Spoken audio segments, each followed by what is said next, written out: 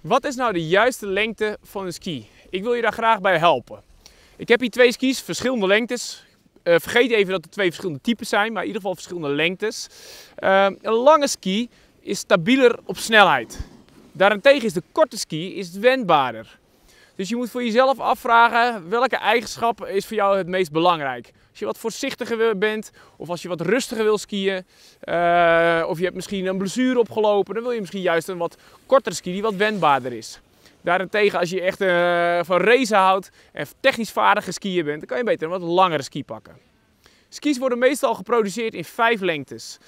Daar uh, zijn er meestal twee over te discussiëren. Drie zijn meestal no-go. En in de regel kan je een beetje zeggen, kin-neuslengte, dat is een hele normale lengte. Alleen heb je te maken met een slalomski, een, een korte getailleerde ski die heel hard in zijn buiglijn is. Dan koop je die meestal wat korter.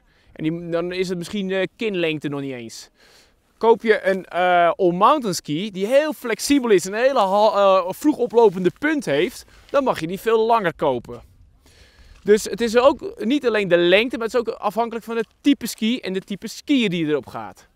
Nou, ik hoop in ieder geval dat je enigszins uh, een beetje meer begrip hebt gekregen wat die lengte doet.